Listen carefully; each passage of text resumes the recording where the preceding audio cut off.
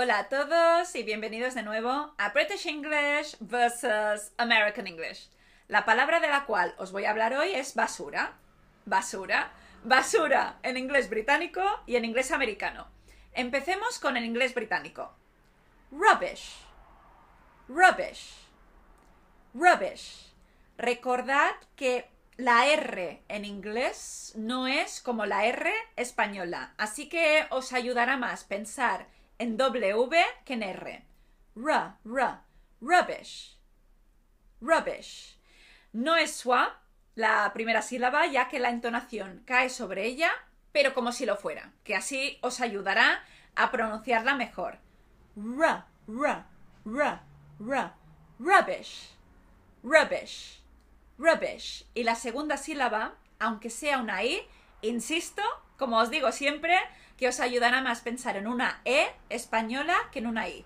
Repito, rubbish, rubbish, rubbish, rubbish. Esto en inglés británico. En inglés americano es garbage, garbage, garbage, ga, ah, ah. Hay que abrir un poquito la boca. Ah, ah, ah. Es una mezcla de O y A. Ga, ah, ah. Garbage. Garbage. Para la segunda sílaba os ayudará también pensar en E, española, con CH, con ch. Garbage. Bitch. Bitch. Garbage. Garbage. Garbage. Así que en inglés británico tenemos rubbish, rubbish y en inglés americano tenemos garbage, garbage, garbage.